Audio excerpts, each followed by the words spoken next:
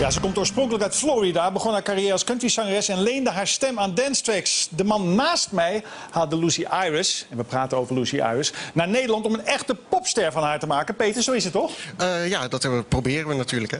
En lukt het? Eh, nou, we zijn hier, dus eh, tot Hoe nu lang, toe gaat hoe lang is zij al hier? Eh, For five years? vijf You, jaar. you decided to move to Holland? Yeah. For these boys? Yeah, for myself. Ja? en gaat het goed? Eh, ja, gaat volgens mij heel goed. Ja, we hebben net een album gemaakt en is net uit, dus eh, mag niet klagen. Is het een country stem? Is het een snik? Ehm, Do nee. you have to snik? The country yodel. snake? I can yodel, You can yodel? but not right now. Oké, all right. Oké, oké. Welk nummer gaan jullie spelen? Dear Diary. Dear Diary. Good luck.